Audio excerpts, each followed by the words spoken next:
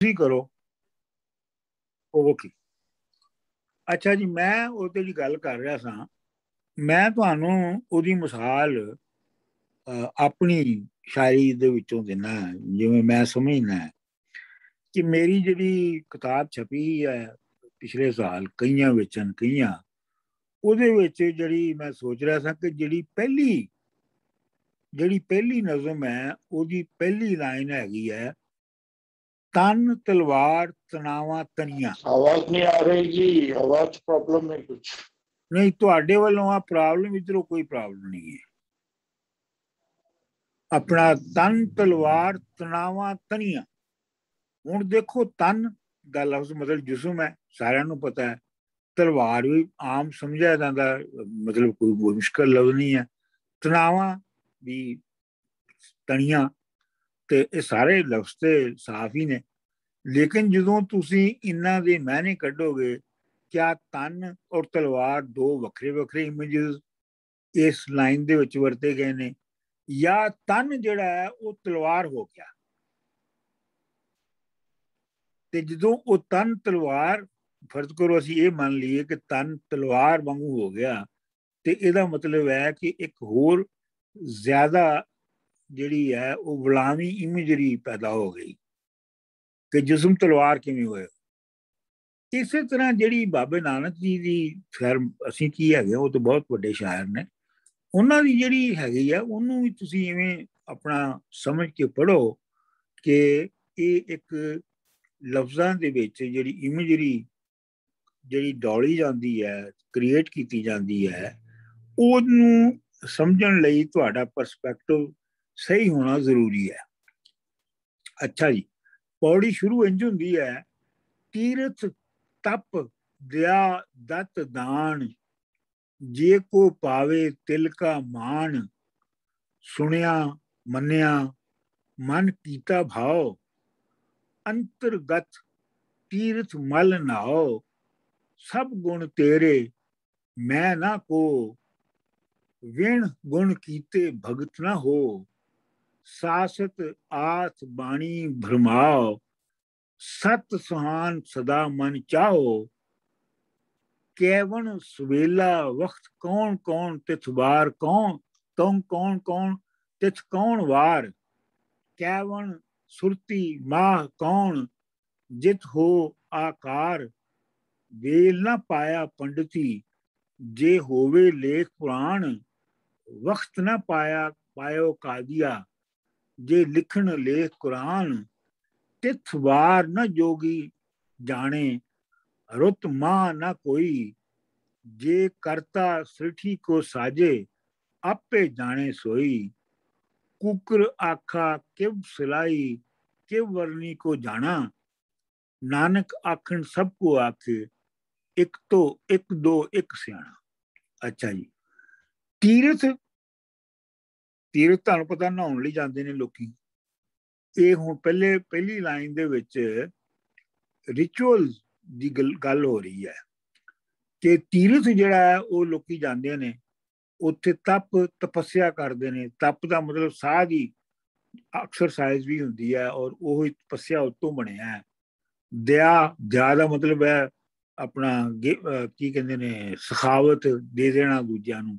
ਦਤ ਵੀ ਉਹੀ ਹੈ, ਦਾਨ ਵੀ ਉਹੀ ਹੈ ਕਿ ਸਖਾਵਤ ਕਰਕੇ ਆਪਣੀਆਂ ਚੀਜ਼ਾਂ ਦੂਜਿਆਂ ਦੇ ਵਿੱਚ ਵੰਡਣਾ। ਜੇ ਕੋ ਪਾਵੇ ਤਿਲ ਕਾ ਮਾਣ, ਤੇ ਉਹਨੂੰ ਇਹ ਜਿਹੜਾ ਸਾਰੇ ਕਰਦੇ ਨੇ, ਉਹਨੂੰ ਇੱਕ ਸ਼ਾਇਦ ਤਿਲ ਜਿੰਨਾ ਜਿਹੜਾ ਇੱਕ ਤਿਲ ਜਿਹੜਾ ਸੈਸਮੀ ਸੀਡ ਹੈ, ਉਹਦੇ ਜਿੰਨਾ ਮਾਣ ਜਿਹੜਾ ਉਹ ਮਿਲਦਾ ਹੈ। ਸੁਣਿਆ, ਮੰਨਿਆ, ਮਨ ਕੀਤਾ ਭਾਵ ਲੇਕਿਨ ਦੂਸਰੇ ਪਾਸੇ ਇਹ ਹੈ ਕਿ ਰਿਚੁਅਲ ਨਹੀਂ ਹੈ।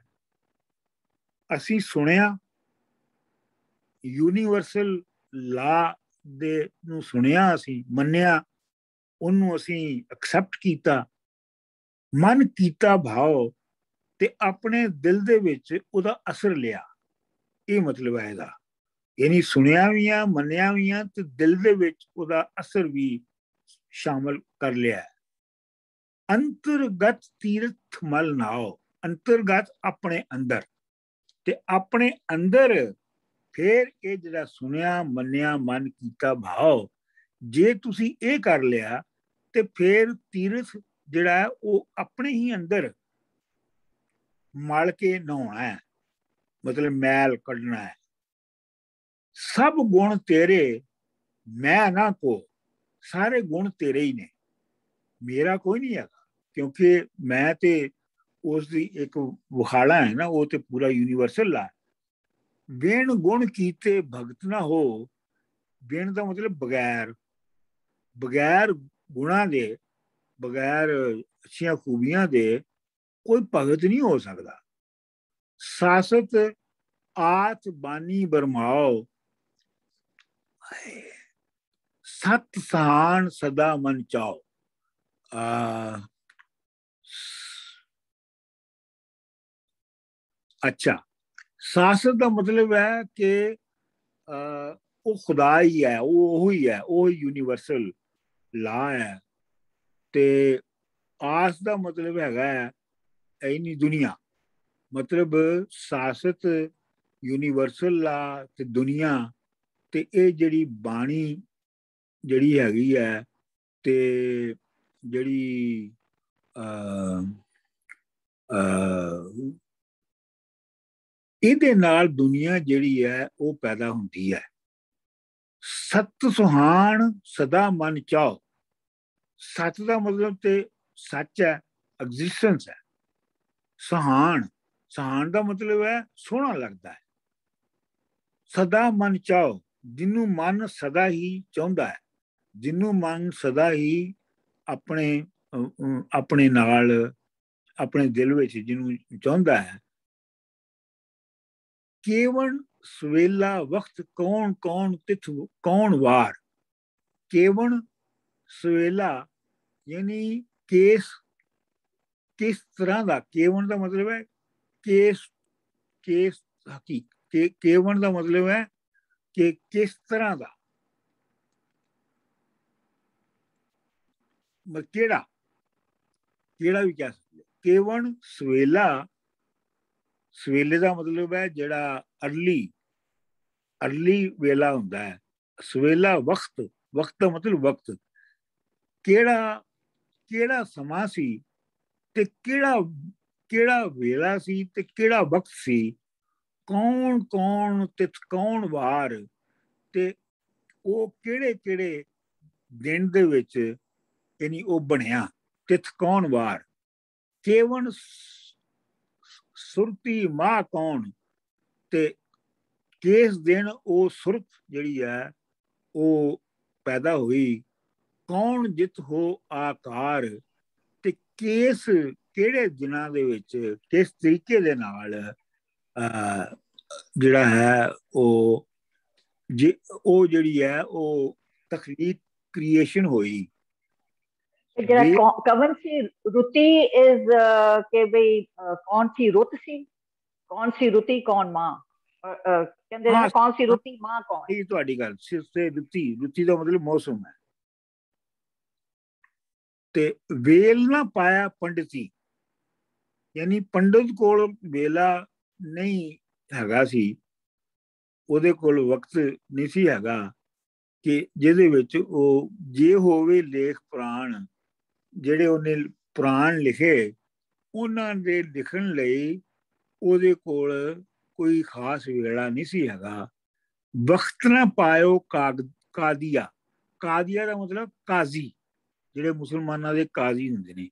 ਤੇ ਵਕਤ ਦਾ ਮਤਲਬ ਹੈ ਵਕਤ। ਵਕਤ ਨਾ ਪਾਇਓ, ਉਹੀ ਗੱਲ ਕਹੀ ਜਾ ਰਹੀ ਹੈ ਮੁਸਲਮਾਨ ਕਾਜ਼ੀਆਂ ਦੇ ਬਾਰੇ ਚ ਵੀ। ਕਿ ਉਹਨਾਂ ਕੋਲ ਵੀ ਜਿਹੜਾ ਕੁਰਾਨ ਲਿਖਣ ਦਾ ਜਿਹੜਾ ਵੇਲਾ ਸੀ ਉਹ ਨਹੀਂ ਸੀ ਹੈਗਾ।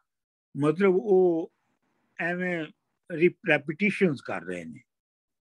ਤਿਥਵਾਰ ਨਾ ਜੋ ਜਾਂ ਇਹਨੂੰ ਇਹ ਵੀ ਕਹਿ ਸਕਦੇ ਆ ਆਹਾਂ ਕਿ ਉਹਨਾਂ ਨੂੰ ਵੀ ਨਹੀਂ ਪਤਾ ਇਹ ਕਿਹੜਾ ਵੇਲਾ ਸੀ ਜਦੋਂ ਇਹ ਸਾਰੀ ਹਾਂ ਬਿਲਕੁਲ ਹਾਂ ਇਹ ਵੀ ਸਹੀ ਹੈ ਕਿ ਉਹਨਾਂ ਨੂੰ ਜਿਹੜਾ ਪੰਡਤ ਹੈ ਉਹਨੂੰ ਵੀ ਤੇ ਕਾਜ਼ੀ ਨੂੰ ਵੀ ਪਤਾ ਨਹੀਂ ਹੈ ਕਿ ਕ੍ਰੀਏਸ਼ਨ ਕਿਦੋਂ ਭਮਾ ਉਹਨੇ ਕਿਤਾਬ ਉਹਨਾਂ ਨੇ ਕਿਤਾਬਾਂ ਲਿਖ ਲਿਖ ਮਾਰੀਆਂ। ਹਾਂ ਪਰ ਉਹਨਾਂ ਨੂੰ ਵੀ ਇਸ ਦਾ ਗਿਆਨ ਹੈ ਨਹੀਂ। ਗਿਆਨ ਨਹੀਂ ਸੀ ਹੈਗਾ। ਤਿਥਵਾਰ ਨਾ ਜੋਗੀ ਜਾਣੇ ਰੁੱਤ ਮਾ ਨਾ ਕੋਈ। ਜੋਗੀ ਜਿਹੜਾ ਉਹਨੂੰ ਵੀ ਉਸ ਉਸ ਉਸ ਦਿਨ ਦਾ ਨਹੀਂ ਪਤਾ ਲੱਗਦਾ।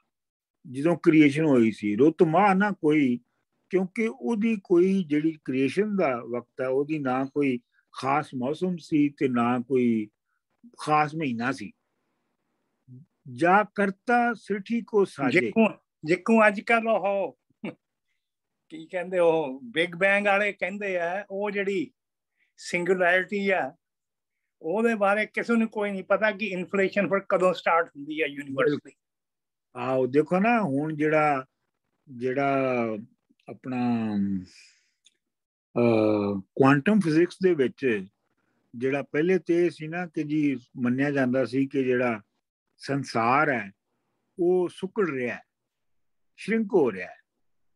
ਅੱਛਾ, ਉਹ ਜਦੋਂ ਹੌਬਲ ਉਹਨਾਂ ਨੇ ਲਾਈ ਉੱਤੇ ਤੇ ਇਹ ਪਤਾ ਲੱਗਾ ਕਿ ਇਹ ਤੇ ਸੁਕੜ ਨਹੀਂ ਰਿਹਾ, ਇਹ ਤੇ ਫੈਲ ਰਿਹਾ ਅੱਛਾ, ਹੁਣ ਜਿਹੜੀ ਵਜ੍ਹਾ ਤੋਂ ਫੈਲ ਰਿਹਾ ਉਹਦਾ ਉਹਨਾਂ ਨੂੰ ਪਤਾ ਨਹੀਂ ਲੱਗਾ ਤੇ ਉਹਨਾਂ ਨੂੰ ਉਹਨਾਂ ਨੇ ਕਹਿਤਾ ਗ੍ਰੇ ਮੈਟਰ। ਯਾਨੀ ਜਿਹੜਾ 90% ਤੋਂ ਵੀ ਸ਼ਾਇਦ ਬਹੁਤਾ ਹੈ, ਉਹ ਗ੍ਰੇ ਮੈਟਰ ਹੈ, ਜਿਹੜਾ ਅਜੇ ਜਿਹਦੇ ਬਾਰੇ ਜੀ ਜਾਣਿਆ ਨਹੀਂ ਜਾ ਰਿਹਾ। ਤੇ ਬਾਕੀ ਮੈਟਰ ਜਿਹੜਾ ਹੈ, ਉਹ ਬਹੁਤ ਛੋਟਾ ਹਿੱਸਾ ਹੈ, ਜਿਹੜਾ ਸੁਕੜ ਰਿਹਾ ਹੈ। ਤੇ ਇਹ ਜਿਹੜੀ ਜਿਹੜੀ, ਇਹ ਸਹੀ ਹੈ ਗੱਲ, ਜੇ ਕਰਤਾ ਸ੍ਰਿਠੀ ਕੋ ਸਾਜੇ, ਮਤਲਬ ਜੇ ਕਰਨ ਵਾਲਾ ਸ੍ਰਿਠੀ ਕ੍ਰੀਏਸ਼ਨ ਕ੍ਰੀਏਸ਼ਨ ਜਾਂ ਕ੍ਰੀਏਚਰ ਨੂੰ ਸਜਾਉਂਦਾ ਹੈ, ਬਣਾਉਂਦਾ ਹੈ ਆਪੇ ਜਾਣੇ ਸੀ। ਉਹਨੂੰ ਹੀ ਪਤਾ ਹੈ ਕਿ ਕਿਦੋਂ ਹੋਇਆ। ਮਤਲਬ ਇਹ ਜਿਹੜੇ ਸਾਰੇ ਨੇ ਯੋਗੀ ਹੋਵੇ, ਕਾਜ਼ੀ ਹੋਵੇ, ਆਪਣਾ ਪੰਡਤ ਹੋਵੇ, ਇਹ ਇਹਨਾਂ ਨੂੰ ਨਹੀਂ ਪਤਾ ਲੱਗ ਸਕਦਾ। ਇਹ ਉਹਨੂੰ ਪਤਾ ਹੈ ਜਿਨਨੇ ਇਹ ਕੀਤਾ ਹੈ। ਕੋਕਰ ਆਖਾ ਕੋ ਸਲਾਹੀ ਕੋ। ਯਾਨੀ ਕਿਵੇਂ ਇਹਨੂੰ ਕਿਹਾ ਜਾਵੇ।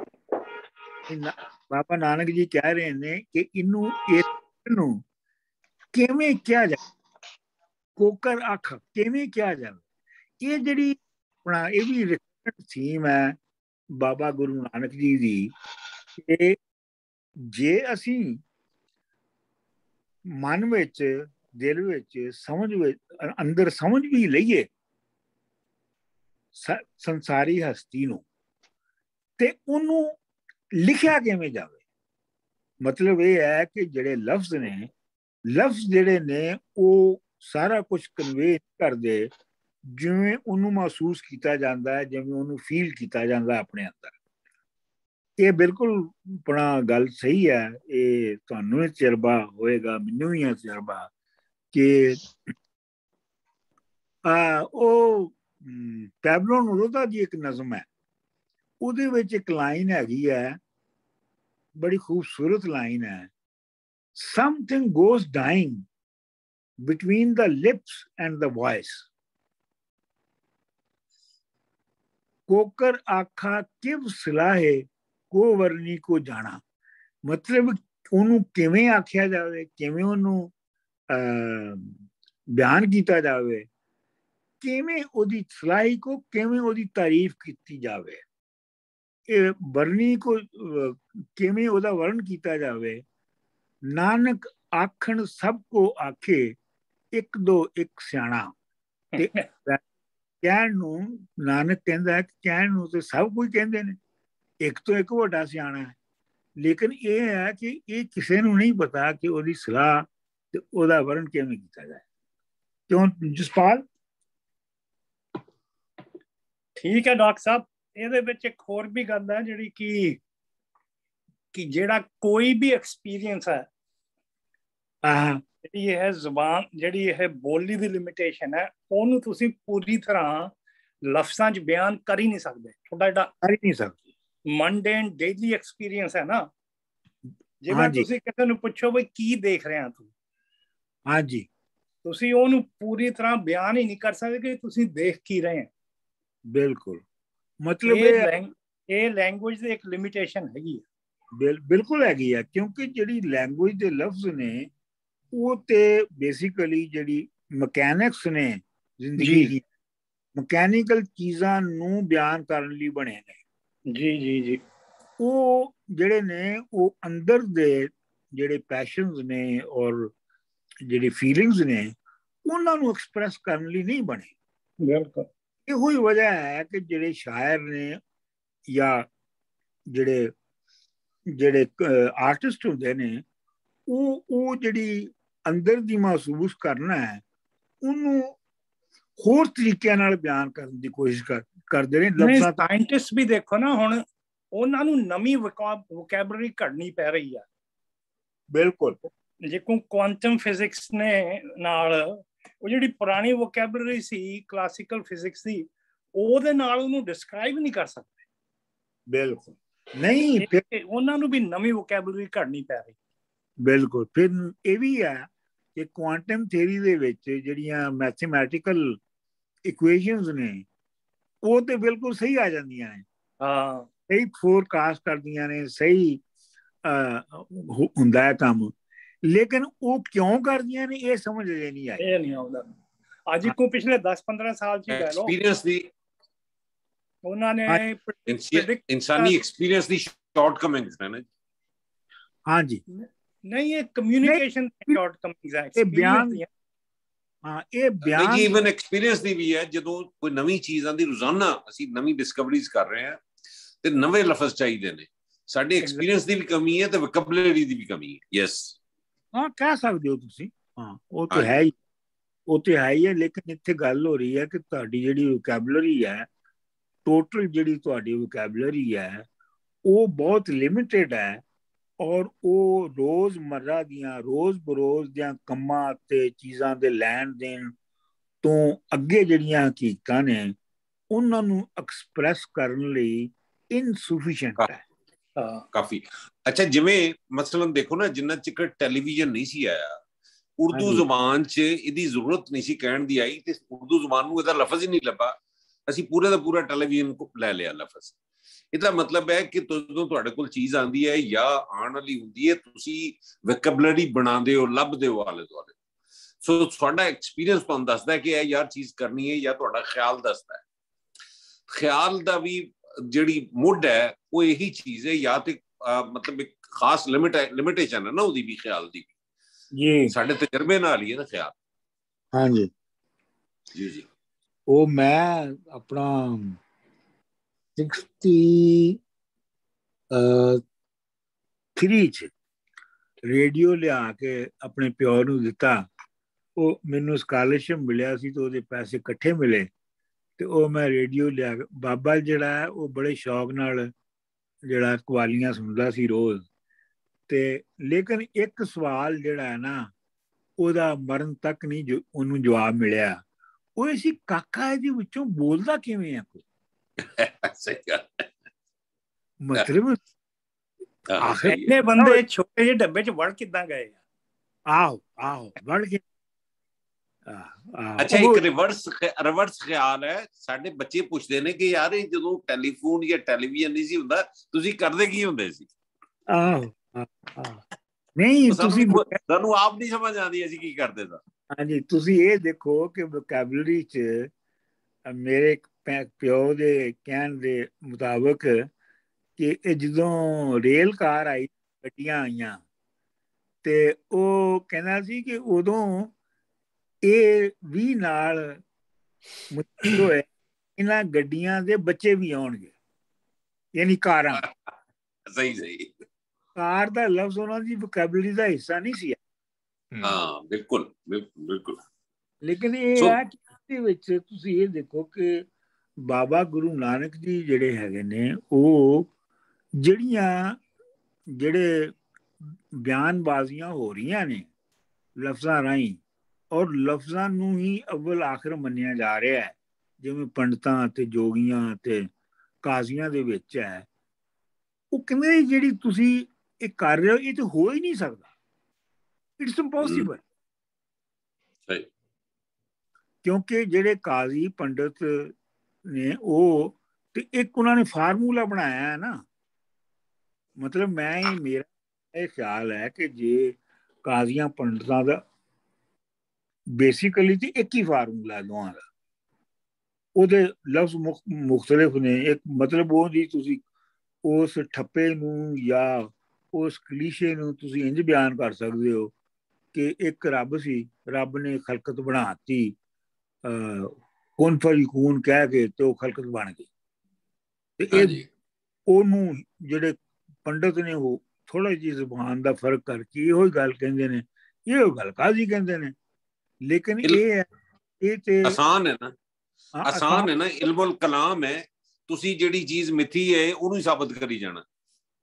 ਆਓ ਮਤਲਬ ਇਹ ਹੈ ਕਿ ਮਤਲਬ ਇਹ ਹੈ ਕਿ ਜਿਹੜੀ ਹਕੀਕਤ ਹੈ ਯੂਨੀਵਰਸਲ ਹਕੀਕਤ ਹੈ ਉਹਨੂੰ ਤੁਸੀਂ ਸਮਝਦੇ ਨਹੀਂ ਹੋ ਦਿਲ ਵਿੱਚ ਨਹੀਂ ਉਹਦਾ ਅਸਰ ਦਿਲ ਅੰਦਰ ਨਹੀਂ ਤੁਹਾਡੇ ਉਗਦੀ ਉਹ ਤੁਸੀਂ ਉਹ ਬਾਹਰ ਆ ਕੇ ਬੈਠੀ ਤੇ ਉਹ ਬਾਹਰੋਂ ਕੁਝ ਕਰ ਰਹੀ ਹੈ।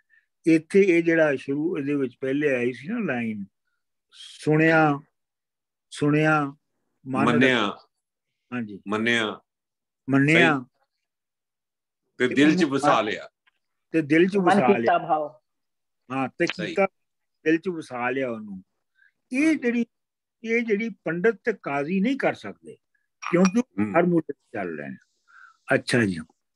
ਡਾਕਟਰ ਸਾਹਿਬ ਇੱਕ ਮੈਂ ਗੱਲ ਕਰਾਂ ਕਿ ਜਿਹੜੀ ਇਹ ਦਿਲ ਦੇ ਖਿਆਲਾਂ ਨੂੰ ਜਾਂ ਫੀਲਿੰਗਸ ਨੂੰ ਲੈਂਗੁਏਜ ਜਿਹੜੀ ਡਿਸਕਸ ਤਾਂ ਨਹੀਂ ਕਰ ਸਕਦੀ ਐਕਸਪਲੇਨ ਨਹੀਂ ਕਰ ਸਕਦੀ ਇਸੇ ਕਰਕੇ ਵੇਰੀਅਸ ਫਾਰਮਸ ਆਫ ਆਰਟ ਜਿਹੜੇ ਹੈਗੇ ਨੇ ਤੁਸੀਂ ਬਾਡੀ ਦੇ ਹੱਥਾਂ ਨੂੰ ਤੇ ਪੈਰਾਂ ਨੂੰ ਤੇ ਅੱਖਾਂ ਨੂੰ ਤੇ ਚੀਜ਼ਾਂ ਨੂੰ ਯੂਜ਼ ਕਰਦੇ ਹੋ ਐਕਸਪ੍ਰੈਸ ਕਰਨ ਉਹੀ ਫੀਲਿੰਗ ਜਿਹੜੀਆਂ ਕਿ ਜ਼ੁਬਾਨ ਨਹੀਂ ਕਰ ਸਕਦੀ ਬਿਲਕੁਲ ਬਿਲਕੁਲ ਬਿਲਕੁਲ। ਦੇਖੋ ਨਾ ਕਲਾਸਿਕਲ ਰਾਗ ਹੋਵੇ ਜਾਂ ਡਾਂਸ ਹੋਵੇ ਜਾਂ ਪੇਂਟਿੰਗਸ ਹੋਣ ਉਹਨਾਂ ਸਾਰੀਆਂ ਦੇ ਵਿੱਚ ਇਹ ਅਮਲ ਹੋ ਰਿਹਾ ਨਾ ਕਿ ਜਿਹੜੀ ਜ਼ੁਬਾਨ ਨਹੀਂ ਬਿਆਨ ਕਰ ਸਕਦੀ ਉਹਨਾਂ ਨੂੰ ਬਿਆਨ ਕਰਨ ਦੀ ਕੋਸ਼ਿਸ਼ ਕਰਦੇ ਨੇ। ਚਲੋ ਜੀ ਅੱਗੇ ਚਲਿਏ। 22ਵੀਂ ਪੌੜੀ ਜਾਈਏ। ਪਾਤਾਲਾ ਪਾਤਾਲ ਲਖ ਲਿਖ ਆਗਾਸਾ ਆਗਾਸ ਓੜਕ ਓੜਕ ਬਾਲ ਥਕੇ, ਵੇਦਣ ਕਹਿ ਵੇਦ ਕਹਿਣ ਇੱਕ ਬਾਤ ਸਹਿਸ 18 ਕਹਿਣ ਕਤੇਬਾ, ਅਸਲੋ ਇੱਕ ਅਸਲੋ ਇੱਕ ਵਿਧਾਤ, ਅਸਲੋ ਇੱਕ ਵਿਧਾਤ, ਲਿਖਾ ਹੋਏ ਤੇ ਲਿਖੀਏ, ਲੇਖੇ ਹੋ ਵਿਨਾਸ਼ ਨਾਨਕ ਵੱਡਾ ਆਖੀਏ ਆਪੇ ਜਾਣੇ ਆਪ ਪਾਤਾਲਾ ਪਾਤਾਲ ਯਾਨੀ ਜਿਹੜੇ ਥੱਲੇ ਜ਼ਮੀਨ ਦੇ ਪਤਾਲ ਹੈ ਉਹਨਾਂ ਦੇ ਵੀ ਥੱਲੇ ਲੱਖਾਂ ਪਤਾਲਾਂ ਨੇ ਇਸੇ ਤਰ੍ਹਾਂ ਅਸਮਾਨ ਹੈ ਆਗਾਸਾ ਯਾਨੀ ਉੱਤੇ ਅਸਮਾਨ ਹੈ ਅਸਮਾਨਾਂ ਉੱਤੇ ਵੀ ਅਸਮਾਨ ਨੇ ਤੇ ਓੜਕ ਓੜਕ ਭਾਲ ਥਕੇ ਓੜਕ towards the end as a conclusion ਭਾਲ ਥਕੇ ਲਬ ਲਬ ਲਬ ਲਬ ਲਬ ਦੇ ਲਬ ਦੇ ਥੱਕ ਗਏ ਅੰਬ ਗਏ ਲਬ ਲਬ ਹਾਂਜੀ ਤੇ ਵੇਦ ਕਹਿਣ ਇੱਕ ਬਾਤ ਤੇ ਵੇਦ ਜਿਹੜੇ ਨੇ ਉਹ ਇੱਕ ਗੱਲ ਕਹਿੰਦੇ ਨੇ ਅੱਛਾ ਹੁਣ ਉਹਦੀ ਤਸ਼ਰੀਹ ਹੈ ਅਗਲੇ ਅਗਲੀ ਲਾਈਨ ਦੇ ਵਿੱਚ ਸੈਸ 18 ਕਹਿਣ ਕਤੇ ਕਹਿੰਦੇ ਨੇ ਜੀ 68 ਸੈਸ ਨਹੀਂ 118 18000 18000 ਸੈਸ ਹਾਂਜੀ 18000 ਕਿਤਾਬਾਂ ਲਿਖੀਆਂ ਗਈਆਂ ਨੇ ਕਹਿੰਦੇ ਨੇ ਲਿਖੀਆਂ ਗਈਆਂ ਨੇ ਇਹਦੇ ਤੇ ਅਸਲੋ ਇੱਕ ਧਾਤ ਤੇ ਅਸਲ ਦੇ ਵਿੱਚ ਇੱਕ ਹੀ ਗੱਲ ਨੂੰ ਦੁਹਰਾਉਂਦੇ ਜਾਂਦੇ ਨੇ ਅੱਛਾ ਇਹ ਜਿਹੜੀ 18000 ਜੋ ਹੈ ਨਾ ਦਾ ਜਿਹੜਾ ਫਿਗਰ ਹੈ ਇਹ ਬੜਾ ਦਿਲਚਸਪ ਹੈ ਮਸਲਨ ਸੁਲਤਾਨ ਬਾਹੂ ਜਿਹੜਾ ਹੈ ਉਹ 18000 ਜਿਹੜਾ ਫਿਗਰ ਹੈ ਉਹਨੂੰ ਕਿਤਾਬਾਂ ਨਹੀਂ ਕਹਿੰਦਾ, ਉਹਨੂੰ ਆਲਮ ਕਹਿੰਦਾ ਮਿਸਾਲ ਦੇ ਤੌਰ ਤੇ ਉਹਦੀ ਜਿਹੜਾ ਹੈਗਾ ਨਾ ਇੱਕ 18000 ਜੋ ਆਲਮ ਆਏ ਅੱਗੇ ਹੁਸੈਨ ਦੇ ਮਰਦੇ ਜੇਕਰ ਦੀਨ ਇਲਮ ਵਿੱਚ ਹੁੰਦਾ, ਸਿਰ ਨੇਜ਼ੇ ਕਿਉਂ ਚੜਦੇ ਹੋ? 18000 ਜੋ ਆਲਮ ਆਏ ਅੱਗੇ ਹੁਸੈਨ ਦੇ ਮਰਦੇ ਕਿ ਜੇ ਇਲਮ ਜਿਹੜਾ ਹੈ, ਉਹ ਦੀਨ ਵਿੱਚ ਹੁੰਦਾ, ਮਜ਼ਹਬ ਵਿੱਚ ਹੁੰਦਾ, ਤੇ ਫਿਰ ਅਸਾਂ ਹੁਸੈਨ ਦਾ ਸਿਰ ਕਿਉਂ ਕੱਪਿਆ ਜਾਂਦਾ? ਤੇ ਇਸ ਤੋਂ ਪਹਿਲੇ ਕਿ ਜੇ ਉਹ ਵਾਕਈ ਮੰਨਦੇ ਹੁੰਦੇ ਉਹਨੂੰ ਤੇ 18000 ਜਿਹੜੇ ਆਲਮ ਸੀ ਉਹ ਉਹਦੇ ਤੋਂ ਉਹਦੇ ਤੋਂ ਕੁਰਬਾਨ ਹੋ ਜਾਂਦੇ। ਇੱਥੇ ਇਹ ਦੇਖੋ ਇਹਦਾ ਮਤਲਬ ਇਹ ਹੈ ਕਿ ਜਿਹੜਾ 18000 ਦਾ ਫਿਕਰ ਬਾਬੇ ਬਾਬਾ ਜੀ ਦੇ ਵੇਰੇ ਸੀ ਉਹ ਮੌਜੂਦ ਸੀ ਔਰ ਉਹ ਹੀ ਅੱਗੇ ਰੈਬਰਵੇਟ ਕੀਤਾ। ਲੇਖਾ ਇੱਕ ਮਿੰਟ ਡਾਕਟਰ ਜਿਹੜਾ ਇਹ 18000 ਦੀ ਗੱਲ ਕਰਦੇ ਨੇ ਇਹ ਇਹ ਕਹਿ ਸਕਦੇ ਹੋ ਕਿ ਉਦੋਂ known or established different schools of thoughts ਹਨ ਨੇ? ਮੇਰਾ ਆਪਣਾ ਖਿਆਲ ਹੈ ਕਿ ਇਹ ਇੱਕ ਇਮੇਜਿਨਰੀ ਫਿਗਰ ਸੀ। ਮੈਂ ਮੈਂ ਥੋੜੀ ਜਿਹੀ ਇੱਕ ਇਹਦੀ ਇੱਕ ਹੋਰ ਇੰਟਰਪ੍ਰੀਟੇਸ਼ਨ ਵੀ ਹੋ ਸਕਦੀ ਆ ਕਿ ਇਹ ਕਿਤਾਬਾਂ ਦੱਸਦੀਆਂ ਕਿ 18000 ਆਲਮ ਹੋਰ ਹੈਗੇ ਆ ਮਤਲਬ ਦੁਨੀਆਵਾਂ ਹੋਰ ਹੈਗੀਆਂ। ਹਾਂ ਇਹ ਵੀ ਇਹ ਵੀ ਇਹ ਵੀ ਇਸ ਇਹ ਵੀ ਤੁਸੀਂ ਇਹਦੀ ਕਰ ਸਕਦੇ ਹੋ। ਜੀ। ਅੱਛਾ ਮੈਂ ਇੱਕ ਇਹਦੇ ਥੋੜੀ ਅਰਜ਼ ਕਰਾਂ ਜੀ 1 ਮਿੰਟ ਅਗਰ ਦਿਓ ਤੇ ਹਾਂਜੀ ਅਰਬੀ ਦੇ ਵਿੱਚ ਕਿ ਮੈਂ ਉੱਥੇ ਸਾਊਦੀ ਅਰਬ ਰਿਹਾ ਨਾ ਤੇ ਅਸੀਂ ਉਹ ਹਮੇਸ਼ਾ ਕਹਿੰਦੇ ਹੁੰਦੇ ਸੀ ਜੀ ਸਾਨੂੰ 70 ਗੁਣਾ ਸਵਾਬ ਹੋਏਗਾ ਕਿਉਂਕਿ ਲਿਖਿਆ ਹੁੰਦਾ ਸਬਈਨ। ਤੇ ਉਸ ਤੋਂ ਬਾਅਦ ਹਜ਼ਾਰ ਦੇ ਬਰਾਬਰ ਹੈ ਫਿਰ ਕਹਣਾ ਖਾਨਾ ਕਾਬਾ ਚ ਨਮਾਜ਼ ਪੜ੍ਹਨਾ ਲੱਖ ਦੇ ਬਰਾਬਰ ਹੈ। ਠੀਕ ਹੈ ਜੀ? ਉਹ ਮੈਂ ਜਦੋਂ ਉਹਨਾਂ ਦੀ ਆਮ ਬੋਲਚਾਲ ਚੋਂ ਦੇਖਿਆ ਤੇ ਉਹ ਜ਼ਰਾ ਚੀਜ਼ ਨੂੰ ਵੱਡਾ ਕਰਨ ਵੱਡਾ ਦੱਸਣ ਵਾਸਤੇ ਨਾ ਬਹੁਤਾ। ਅਸੀਂ ਇੱਥੇ ਕਹਿੰਦੇ ਯਾਰ ਹਜ਼ਾਰਾਂ ਸੀਗੇ ਉੱਥੇ ਠੀਕ ਹੈ ਨਾ ਜੀ? ਆ ਬੰਦੇ ਸੀਗੇ। ਅੱਛਾ ਉਹ ਕਹਿੰਦੇ ਨੇ ਉਹ ਕਹਿੰਦੇ ਨੇ ਸਬੀਨ ਠੀਕ ਹੈ ਐਵੇਂ ਹੀ ਉਹਨਾਂ ਨੇ ਬਹੁਤਾ ਦੱਸਣ ਵਾਸਤੇ ਨਾ ਇੱਕ ਲਿਖ ਦਿੰਦੇ ਨੇ। ਇਸੇ ਤਰ੍ਹਾਂ ਕਹਿੰਦੇ ਜੀ ਲੱਖ ਨਮਾਜ਼ ਉਹਦਾ ਮਤਲਬ ਹੈ ਕਿ ਬੇਅੰਤ ਹੈ। ਉਹਦਾ ਮਤਲਬ ਲੱਖ ਨਹੀਂ ਹੈ ਐਕਚੁਅਲੀ ਬੇਅੰਤ ਹੈ। ਉਹਨੂੰ ਵੱਡਾ ਦੱਸਣ ਦੀ ਵਜ੍ਹਾ ਠੀਕ ਹੈ ਨਾ ਜੀ? ਸਾਡੇ ਮੌਲਵੀ ਉਥੇ ਮੌਲਵੀਆਂ ਨਾ ਖਿਆਲ ਇਹ ਹੈ ਗਿਣਨ ਬੈ ਜਾਂਦੇ ਜੀ 1 ਲੱਖ ਹੋ ਗਈਆਂ। ਇੱਕ ਨਮਾਜ਼ ਦਾ ਤੇ ਜੇ 10 ਪੜ ਲਈਆਂ 10 ਲੱਖ ਹੋ ਗਈਆਂ ਤਾਂ ਅਸੀਂ 72 ਸਾਲ ਚ ਕਿੰਨੀਆਂ ਪੜੀਆਂ ਮਤਲਬ ਬੇਸਿਕਲੀ ਇਹ ਇੱਕ ਵੱਡਾ ਸਾਰਾ ਮਜਮਾ ਦੱਸਣ ਵਾਸਤੇ ਇਹ ਬਹੁਤੀ ਚੀਜ਼ ਦੱਸਣ ਵਾਸਤੇ ਇਹ ਲਫ਼ਜ਼ 18000 ਵੀ ਸ਼ਾਇਦ ਸ਼ਾਇਰਾਨਾ ਕਿਸੇ ਪਾਸੇ ਇਹ ਆਦੀ ਹੈ। ਇੱਕ ਈਡੀਅਮ ਬਣਿਆ ਹੋਇਆ ਨਾ। ਈਡੀਅਮ ਹੈ ਈਡੀਅਮ ਸਹੀ ਗੱਲ ਬਿਲਕੁਲ ਸਹੀ। ਜਿੱਕੋ ਕਹਿੰਦੇ ਲੱਖ ਕਾਗਾ ਕਰੋੜ ਕਾਗਾ। ਸਹੀ ਸਹੀ ਸਹੀ ਐਗਜ਼ੈਕਟਲੀ ਮਤਲਬ ਇਹ ਮੈਟਾਫਰ ਹੈ। ਜਿੰਨੂੰ ਉਹ ਕੀ ਕਹਿੰਦੇ ਨੇ ਐਗਜ਼ੈਕਟ ਮੰਨਦੇ ਨੇ। ਲੇਕਿਨ ਉਹ ਹੈ ਹੈ ਨਹੀਂ ਹੈ ਨਹੀਂ। ਹਾਂ ਐ ਨਹੀਂ ਅੱਛਾ ਜੀ। ਲੇਖਾ ਹੋਤ ਲਿਖੀਏ ਲੇਖੇ ਹੋ ਵਿਨਾਸ਼। ਯਾਨੀ ਲੇਖਾ ਜਿਹੜਾ ਹੋ ਰਿਹਾ ਹੈ ਇਹ ਕ੍ਰੀਏਸ਼ਨ ਦਾ ਅਗਰ ਉਹਨੂੰ ਲਿਖੀਏ ਤੇ ਇਹ ਸਾਰੇ ਲੇਖੇ ਜਿਹੜੇ ਨੇ, ਇਹ ਤਬਾਹ, ਇਹ ਖਤਮ ਹੋ ਜਾਂਦੇ ਨੇ। ਇਹਨਾਂ ਦਾ ਕੋਈ ਵੈਲਿਊ ਨਹੀਂ ਹੈ ਹੈ ਕੀ ਨਾਨਕ ਵੱਡਾ ਆਖੀਏ, ਆਪੇ ਜਾਣੇ ਆਪ। ਅਸਲ ਗੱਲ ਇਹ ਹੈ ਕਿ ਨਾਨਕ ਉਹਨੂੰ ਉਹਨੂੰ ਯੂਨੀਵਰਸਲ ਲਾ ਨੂੰ ਵੱਡਾ ਆਖੀਏ ਤੇ ਉਹ ਆਪ ਹੀ ਆਪਣੇ ਆਪ ਨੂੰ ਜਾਣਦਾ ਹੈ। ਹੋਰ ਬਾਹਰੋਂ ਉਹਨੂੰ ਕੋਈ ਜਾਣਦਾ ਨਹੀਂ ਹੈ। ਮਤਲਬ ਉਹ ਉਹ ਤੇ ਦੇਖੋ ਨਾ, ਉਹ ਤੇ ਮਸਲਾ ਹੈਗਾ ਕੁੱਲ ਟੋਟਲ ਤੇ ਪਾਰਟ ਦਾ, ਕਿ ਉਹ ਟੋਟੈਲਿਟੀ ਹੈ, ਅਸੀਂ ਸਾਰੇ ਜਿਹੜੇ ਆ, ਉਹਦਾ ਪਾਰਟ ਹੈ।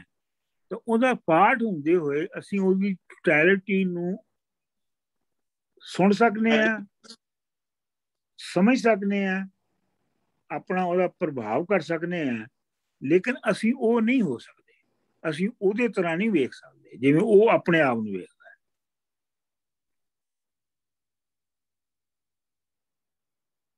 ਅੱਛਾ ਜੀ। ਸਾਲਾ ਹੀ ਸਾਲਾ, ਐਤੀ ਸੁਰਤ ਨਾ ਪਾਇਆ। ਨਦੀਆਂ ਅਤੇ ਵਾਹ, ਪਉ ਸਮੁੰਦ ਨ ਜਾਣੀਆ। ਸਮੰਦ ਸਾ ਸੁਲਤਾਨ ਗਿਰਾ। ਸੇਤੀ ਮਾਲ ਧਨ, ਕੀੜੀ ਤੁਲ ਨਾ ਹੋਣੀ, ਜੇ ਤੁਸ ਮੂੰਹ ਨਾ ਵਿਸਰਿਆ। ਅੱਛਾ ਜੀ, ਸਾਲਾ ਹੀ ਸਲਾ, ਯਾਨੀ ਜਿਹੜੀ ਜਿਹੜਾ ਤਾਰੀਫ ਦੇ ਕਾਬਲ ਹੈ, ਉਹਦੀ ਤਾਰੀਫ ਉਨੀ ਕਰਨੀ ਇਹ ਸੁਰਤ ਨਹੀਂ ਹੈਗੀ। ਉਹਦੀ ਕਿੰਨੀ ਤਾਰੀਫ ਹੋਣੀ ਚਾਹੀਦੀ ਹੈ, ਇਹ ਸੁਰਤ ਨਹੀਂ ਹੈਗੀ। ਨਦੀਆਂ ਨਦੀਆਂ ਤੇ ਜਿਹੜੀਆਂ ਨੇ ਉਹ ਤੁਹਾਨੂੰ ਪਤਾ ਹੀ ਕੀ ਹੁੰਦੀ ਹੈ। ਵਾਹ ਜਿਹੜਾ ਉਹ ਦਰਿਆ ਹੈ ਤੇ ਪੌ ਜਿਹੜੀ ਹੈ ਉਹ ਵਾਹ ਹੈ ਤੇ ਸਮੁੰਦਰ ਜਿਹੜਾ ਉਹ ਸਮੁੰਦਰ ਹੈ ਤੇ ਇਹ ਜਿਹੜੀਆਂ ਸਾਰੀਆਂ ਚੀਜ਼ਾਂ ਦਾ ਜਿਵੇਂ ਖਲਾਰਾ ਹੋਇਆ ਹੈ ਉਹ ਯੂਨੀਵਰਸਲ ਬੀਇੰਗ ਦੀ ਜਿਹੜੀ ਦਾ ਇਜ਼ਹਾਰ ਹੈ ਜਾਂ ਐਕਸਪ੍ਰੈਸ਼ਨ ਹੈ ਉਹਦੀ ਅਸੀਂ ਉਂਝ ਉਹਦੀ ਤਾਰੀਫ ਨਹੀਂ ਕਰ ਸਕਦੇ ਸਾਡੀ ਇੰਨੀ ਸੁਰਤ ਨਹੀਂ ਹੈਗੀ ਕਿ ਅਸੀਂ ਉਹਦੀ ਵਾਕਈ ਤਾਰੀਫ ਕਰ ਸਕੀਏ। ਸਮੰਦ ਹਾਂਜੀ ਇੱਕ ਜਿਹੜਾ ਕਹਿੰਦੇ ਨੇ ਨਾ ਕਿ ਬਈ ਨਦੀਆਂ ਤੇ ਵਾਹ ਪਵੇ ਸਮੁੰਦ ਨਾ ਜਾਣੀਏ ਇਹ ਦਾ ਇਹ ਵੀ ਹੋ ਸਕਦਾ ਕਿ ਜੋ ਤੁਸੀਂ ਕਹਿ ਰਹੇ ਹੋ ਸਾਰੇ ਸੁਣ ਰਹੇ ਹੋ ਇਟ ਇਜ਼ ਜਸਟ ਲਾਈਕ ਕਿ ਨਦੀ ਉੱਤੇ ਥੋੜੀ ਜਿਹੀ ਹਵਾ ਪਵੇ ਤੇ ਮਾਣੀਆਂ ਜਿੰਨੀਆਂ ਲਹਿਰਾਂ ਆਣ ਤੇ ਤੁਸੀਂ ਉਹਨੂੰ ਸਮੁੰਦਰ ਨਾ ਸਮਝ ਬੈਠੋ ਤੇ ਸਮੁੰਦਰ ਉਹ ਤੋਂ ਬਹੁਤ ਵੱਡਾ ਹੈ ਜੇ ਤੁਹਾਡੀ ਕਮ ਨੌਲੇਜ ਹੈ ਹਾਂ ਹਾਂ ਇਹ ਵੀ ਹੋ ਸਕਦਾ ਹੈ ਲੇਕਿਨ ਮੇਰੀ ਇੰਟਰਪ੍ਰੀਟੇਸ਼ਨ ਜਿਹੜੀ ਹੈ ਉਹ ਇਹ ਹੈਗੀ ਹੈ ਕਿ ਇਹ ਜਿਹੜਾ ਕ੍ਰੀਏਸ਼ਨ ਦਾ ਖਲਾਰ ਹੈ ਉਸ ਖਲਾਰ ਦੀ ਐਕਸਪ੍ਰੈਸ਼ਨ ਹੈ ਇੱਥੇ। ਸਮੰਦ ਸਾ ਸੁਲਤਾਨ, ਗਿਰਾ ਸੇ ਤੇ ਮਾਲ ਧਨ ਧਨ। ਯਾਨੀ ਸਮੁੰਦਰ ਜਿਹੜਾ ਹੈ, ਉਹ ਬਾਦਸ਼ਾਹ ਹੈ ਤੇ ਗਿਰਾ ਮਤਲਬ ਪਹਾੜ, ਸੇਤੀ ਮਾਲ ਧਨ, ਜਿਸ ਤੋਂ ਜਿਹੜਾ ਮਾਲ ਧਨ ਨਾਲ ਜੁੜਿਆ ਹੋਇਆ ਹੈ। ਤੇ ਕੀੜੀ ਤੁਲ ਨਾ ਹੋਣੀ ਤੁਲ ਦਾ ਮਤਲਬ ਹੈ, ਤੋਲਿਆ ਨਹੀਂ ਜਾਣਾ। ਉਹਦੀ ਬਰਾਬਰੀ ਨਹੀਂ ਹੋਣੀ, ਉਹ ਕੀੜੀ ਦੇ ਬਰਾਬਰ ਵੀ ਨਹੀਂ ਹੋਣਾ। ਜੇ ਤੇ ਸਮੂਹ ਨਾ ਵਿਸਰਾ, ਜੇ ਆਪਣਾ, ਜੇ ਤੁਹਾਡੇ ਮਨ ਵਿੱਚੋਂ ਉਹ ਕੀ ਹੈ? ਕਿੱਥੇ ਹਾਂ ਮੈਂ? ਤੇ ਤੇ ਦੇ ਤੁਹਾਡੇ ਮਨ ਚੋਂ ਵਿਸਰਿਆ ਨਹੀਂ ਹੈ ਹਾਂ ਜੇ ਤੁਹਾਡੇ ਚੋਂ ਮਨ ਚੋਂ ਵਿਸਰਿਆ ਨਹੀਂ ਹੈ ਤੇ ਫੇਰ ਤੁਹਾਡਾ ਕੀੜੀ ਜਿੰਨਾ ਵੀ ਮੁੱਲ ਨਹੀਂ ਹੈਗਾ। ਠੀਕ ਹੈ ਜੀ? ਬਿਲਕੁਲ। ਲੋ ਜੀ ਬਸ ਅਸੀਂ ਤਿੰਨ ਪੜ੍ਹਨੀਆਂ ਹੁੰਦੀਆਂ ਨੇ। ਤੇ ਅੱਜ ਅਸੀਂ ਤਿੰਨ ਪੜ੍ਹ ਲੀਆਂ ਨੇ। ਹੁਣ ਅਗਲੀ ਵਾਰੀ ਪੜਾਂਗੇ ਠੀਕ ਹੈ ਡਾਕਟਰ ਸਾਹਿਬ। ਬਹੁਤ ਵਧੀਆ। ਹਾਂਜੀ। ਚਲੋ। ਜੀ ਬਹੁਤ ਮਿਹਰਬਾਨੀ ਡਾਕਟਰ ਸਾਹਿਬ। ਮੈਨੂੰ ਤਾਂ ਜਾਣਾ ਪੈਣਾ ਚਲੋ ਨਹੀਂ ਬਸ ਠੀਕ ਹੈ ਅਸੀਂ ਵੀ ਮੁਕਾਉਣ ਲੱਗੀ ਓਕੇ ਓਕੇ ਜੀ। ਅੱਛਾ ਜੀ ਰੱਬ ਰੱਖਾ ਸਾਰਿਆਂ ਨੂੰ ਜੀ। ਓਕੇ ਜੀ। ਆਲਰਾਈਟ ਜੀ ਰੱਬ ਰੱਖਾ।